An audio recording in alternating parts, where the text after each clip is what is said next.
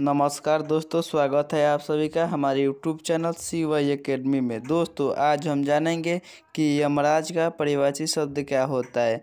तो वीडियो को शुरू करने से पहले आप हमारे YouTube channel C Y academy को सब्सक्राइब कर ले और बेल आइकन को प्रेस कर दे। तो बता दें दोस्तों, यमराज का परिभाषित शब्द अंतक, धर्मराज कृतांत होता है। दोस्तों, यह था आज का खास वीडियो। वीडियो पसंद आए तो वीडियो को लाइक करें और शेयर करें। वीडियो कैसा लगा कमेंट सेक्शन में ज़रूर बताएँ। फ़िलहाल के लिए इतना ही। मिलते हैं नेक्स्ट वीडियो तक। तब तक के लिए धन्यवाद।